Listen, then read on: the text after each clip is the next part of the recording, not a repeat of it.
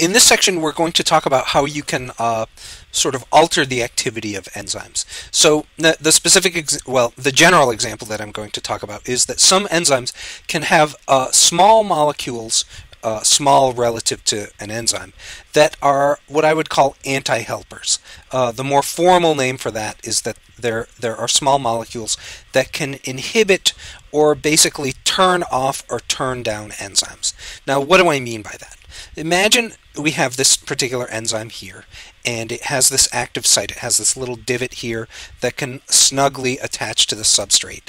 And when the substrate attaches, it turns into product. Um, imagine that uh, in some instance, this particular enzyme goes haywire and it starts basically taking substrate and making too much product. It, it's catalyzing this reaction too often. Now, this actually happens in a lot of biological systems. Uh, excuse me about that. I'm backtracking a little bit. This actually happens. Sometimes enzymes do go haywire. Uh, one of the examples is the proton pump inhibitors that we talked about in earlier lectures. If they pump too much acid into the interior of your stomach, some of it can bubble up and um, and go into your esophagus and cause heartburn. Another example of that is there is a particular enzyme in your body called COX2. You don't need to know the details of this, but it makes a relatively interesting story.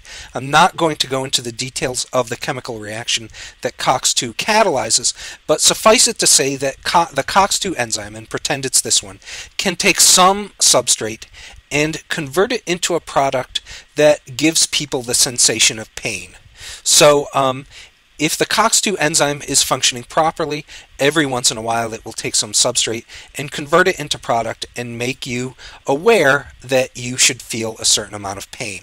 However, there are times when the COX2 enzyme goes a little bit haywire and it basically causes too much uh, sensation of pain. It makes too much too much of the product, and that basically makes people feel like they are in too much pain. Well, there you could imagine a situation where you want to uh, prevent the COX2 enzyme from making so much product, and if you could slow it down or stop it from making so much product, uh, whoever was feeling pain could, uh, if you could basically turn down their COX2 enzyme, you could make them feel less pain. One way of doing that is to have people uh, ingest a small molecule that kind of is shaped like the substrate here. It's not exactly the substrate, but it has a similar shape. Similar enough that whatever molecule is ingested, it might fit snugly into this active site as well. And if it's sitting, if the molecule that you ingest is sitting in this active site, this active site can no longer snugly attach to the substrate. And if it can't attach to the substrate, it cannot convert the substrate into product. And if it can't convert the substrate into product, it is not going to uh, it's going to reduce the sensation of pain in the person. Assuming that they ingest whatever that small molecule was that fits into this spot as well that type of small molecule is called an enzyme inhibitor and if you had an enzyme inhibitor that inhibited the COX2 enzyme in particular, then that enzyme inhibitor would relieve a certain amount of pain in people who are feeling uh, too much pain. And those types of molecules do exist. Um, ibuprofen is an example of uh, a medicine that we take that is an inhibitor of the COX2 enzyme.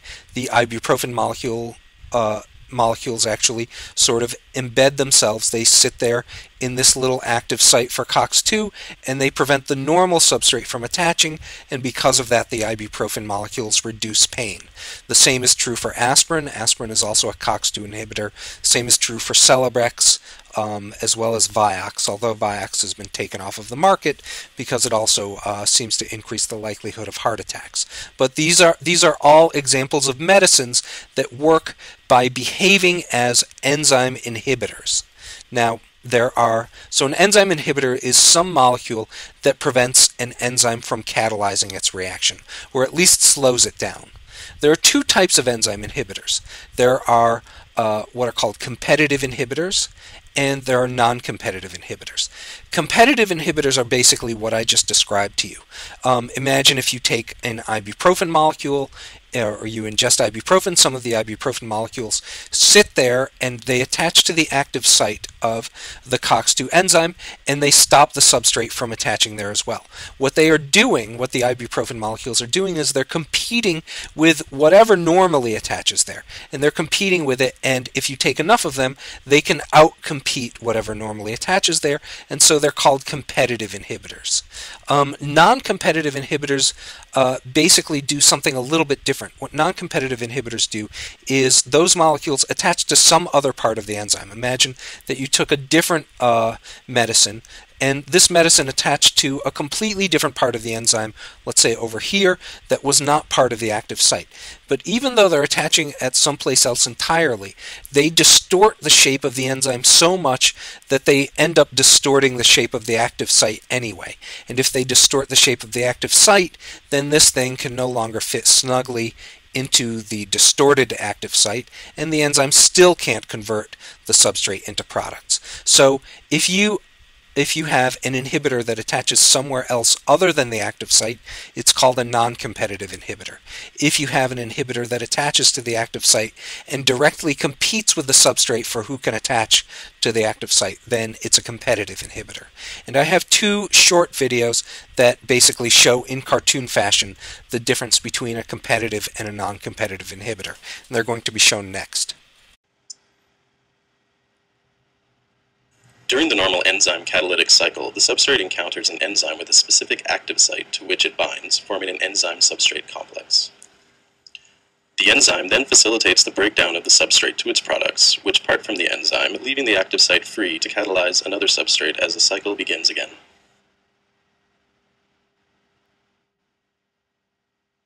Competitive inhibition occurs when an enzyme encounters a blocker, which mimics the properties of the substrate and binds to the enzyme's active site. Thus, when the substrate is encountered, the active site is not available for attachment and no reaction will occur.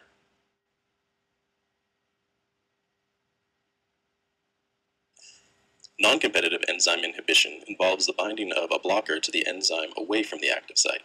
This binding causes a conformational change in the enzyme, altering the shape of the active site, which prevents the substrate from binding.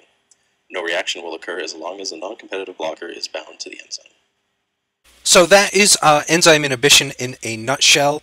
Um, pretty much every modern medicine that I can think of uh, works in this way, it, um, at least in part. So, as, as an example, I was talking about ibuprofen and Celebrex and, and aspirin. They are all competitive inhibitors of one particular enzyme that is involved in making products that make us feel pain. Uh, Crixivan is a different medication. You probably have never heard of it. It's not used very much anymore, but it uh, is an anti HIV medication that is a non competitive enzyme inhibitor. But as I said, many, if not most, if not, if not all modern medicines that I can think of work as enzyme inhibitors in one way or another. Um, so that that's enzyme inhibition. That's the end of this unit, this unit on proteins. I want to summarize what you should know for the quiz and for the upcoming final exam as far as these chapters are concerned. Um, as far as proteins are concerned, you should know the general features. In other words, the chemical structure of the amino acids. You should be able to pick out the amine group, the carboxylic acid group, the side chains, uh, the central carbon. You should be able to recognize different amino acid side chains. This does not mean that you should memorize them. In fact, it, I think it's a waste of time to memorize them. But if you are given a, a, list of amino acids and their structures, you should be able to, to read that list and be able to sort of um, understand what is being shown to you. You should know what an enzyme is. It's a biological molecule that catalyzes chemical reaction. You should know what denaturation is. That's the unfolding of a protein from its normal functional three-dimensional state. Uh, you should know what a temperature optimum and a pH optimum are. Um, those are basically the, the temperature and pH that a particular enzyme works best at. Um, you should know what the difference between competitive and non-competitive inhibition. Uh, you should know the, the levels of protein structure. In particular, I want you to know what primary structure is and what tertiary structure is. I would not worry about secondary and quaternary structure. You should know um, that there are different classes of amino acid side chains. There are hydrophobic amino acids, there are hydrophilic amino acids, and you can break the hydrophilic ones into hydrophilic amino acids that are uncharged and hydrophilic amino acids that are charged. Uh, you should know which types of amino acids tend to be found on the surface of a protein. Those are the hydrophilic ones. You should know which types of amino acids tend to be found on the interior of a protein. Those are the hydrophobic ones. Um, a few other things, know what an active site of an enzyme is, know what substrate means, and that's it. So that is the final uh, video lecture. Um, good luck on the quiz, good luck on the final exam, and I will have uh, an announcement about the final, uh, if not today, um, at some point this week.